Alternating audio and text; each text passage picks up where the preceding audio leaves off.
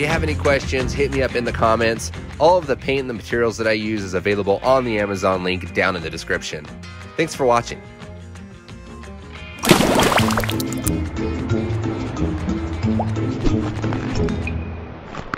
Thank you.